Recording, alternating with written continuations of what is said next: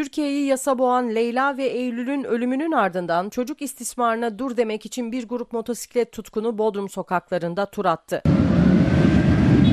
Türkiye'yi yasa boğan Eylül ve Leyla'nın ölümünün ardından birçok kesim çocuk istismarına dur demek için protestolar başlattı. Bodrum'da da Türkiye Bayan Motorcular Kulübü'nün başlattığı eylemde onlarca motosikletli sokağa indi.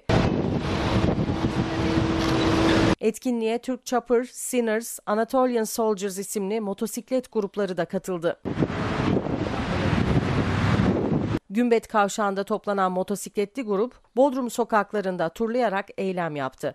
Vatandaşlar da grubu alkışlayarak destek verdi.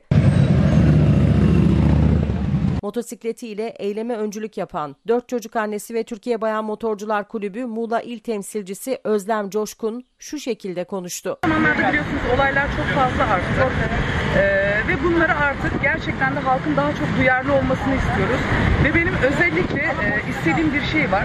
Amerika'da belki izlemişsinizdir. Am- Am- Amber's e, Alarm diye bir program var. Yani bir çocuk kaybolduğu anda her yerde, ortak televizyonlarda, her yerde anında medyaya çocukların resimleri veriliyor. Ee, bununla birlikte ben halkımızda tabii ki duyarlılığa çağırıyorum. Her şeyleri daha hızlı, daha seri bir şekilde. Fakat medyada da biliyorsunuz yalan yanlış haberler de yayınlanıyor. Bunları lütfen itibar gerçekten araştırmadan bir şeylerin paylaşmamalarını.